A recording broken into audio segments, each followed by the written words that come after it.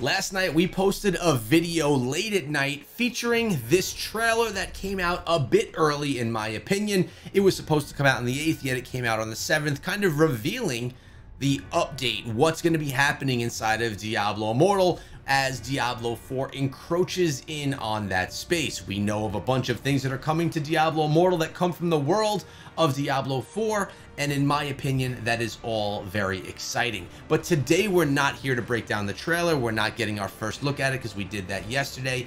Instead we are going to be going into some more patch notes that we had that came out well last night that I'm bringing to you guys now. Let's do a few things here. First of all, let's make this a little bit easier for you to see and dive into all of this. The first annual expansion piece of Diablo Immortal Destruction Reborn will officially launch tomorrow, June 8th.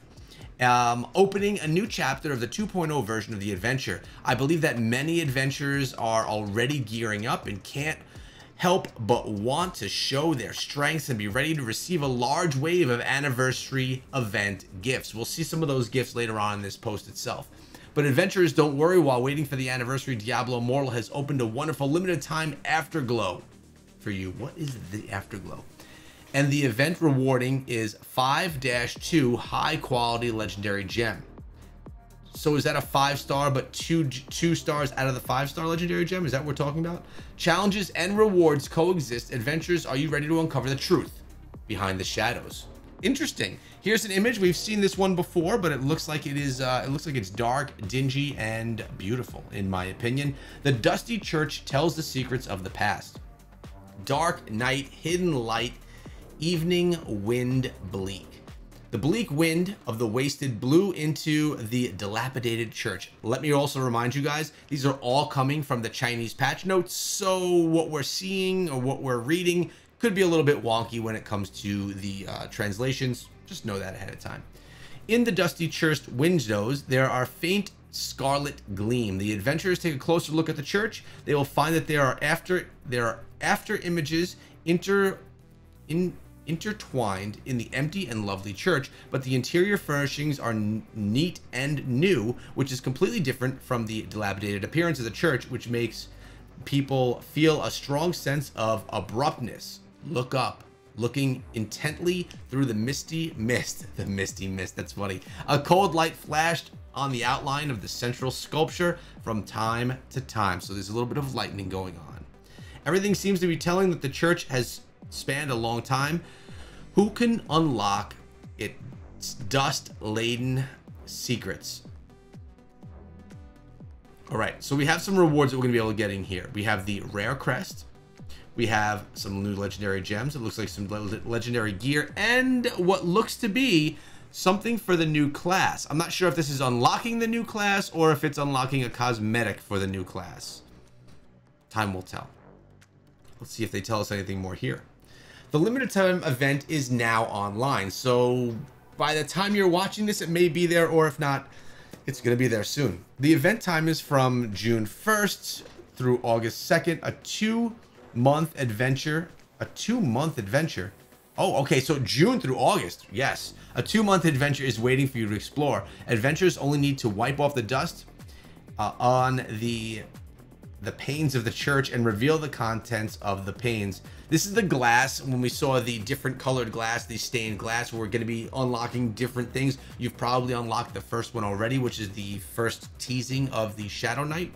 The other panes will bring more things in the future.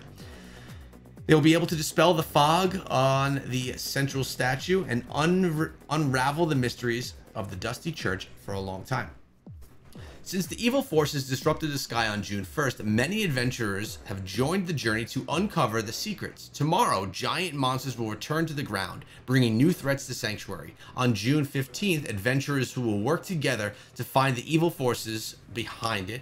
On June 28th, the legendary ancient demon god will strike again, and a devastating crisis will come. On July 13th, adventurers will face the challenge and they light up the statue and reveal the uh, after image. Can you successfully explore the truth behind the church? Let us wait and see. So we're going to actually be able to see what, so we can see the panes of glass here, the panes right there, those are going to be revealed. There's two more over here, and then we'll be able to see what this statue is. which we already know is the Shadow Knight, but we'll take a better look when that time comes. Complete the task on a specific date, and the secrets of the pane are gradu gradually revealed. Adventurers must unlock rewards such as two-star legendary gems, limited avatar frames, enhanced immortal keystones, and special expressions. During the upcoming anniversary celebrations when adventurers are celebrating, don't forget to return to the church on specific day to continue the challenge. Here are some of the rewards that we're talking about. These are the expressions. There are emotes. We have the frame, the legendary gems, and of course, rare uh, legendary crests. Did I? I may have said rare crest before. If I did, I apologize. They are legendary, not the ones we can sell.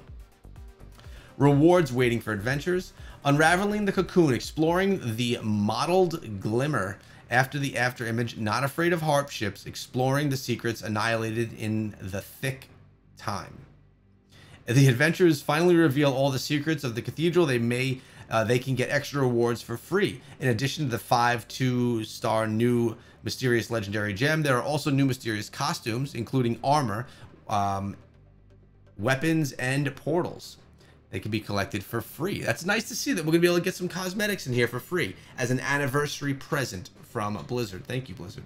We'll see how that all comes out. Here are some more of the rewards that they're talking about. Legendary gems, more legendary gems, and these are some of the cosmetics. All right, it looks like a cosmetic here, a weapon here, and a portal right here. So these are apparently three of the rewards that we could be getting for free. The Shining Mysterious Gifts have already made the adventurers very excited. More importantly, this event is also related to the new profession that will debut in July. So essentially the new character class. As long as you participate in the event and reveal the secrets hidden in the pane step by step, you'll be able to get clues to the new job in Sanctuary. Who exactly is our new friend? I believe many adventures are all of are full of guesses. If you want to know more, don't miss the after image will be bright event. All right, so there's our Shadow Knight right there. And the little bit more that we have, a little bit more details is the after image will be bright and the grand ceremony will begin. The first annual annual expansion piece of Diablo Immortal, Destruction Rebirth, will officially meet with you tomorrow, and the surprise linkage Diablo 4 will start a new adventure chapter. As the anniversary celebration is about to start, let's enjoy the journey of revealing the secrets carefully prepared by Diablo Immortal for adventurers. Some of the things that we're getting out of this that are most exciting are the rewards that we can gain right here, that we have a nice long event as well. I like that it spans over a two month period of time. It's going to give us something to continuously log into. It's also giving Blizzard a little bit of time to create the actual content that they're trying to put out. I mean, putting out a whole new class inside of the game is a big deal. In addition to this, we're getting the new zone, we're getting the new raid bosses, um, we're getting a new PvP zone or PvP gameplay method inside of the new zone that we have coming. So there really is a lot coming to Diablo Immortal. I love how they're bringing the two worlds together. We also have the new cosmetics coming as well, both the Children of Lilith Battle Pass cosmetics, five bucks. You'll see that in the game tomorrow, and the other Lilith Battle Pass. Uh, I'm sorry, the other Lilith skins which are essentially those $170 skin packs, which you can then use on all of your classes. I won't be purchasing that one, but many people will. There's a lot coming to Diablo Immortal.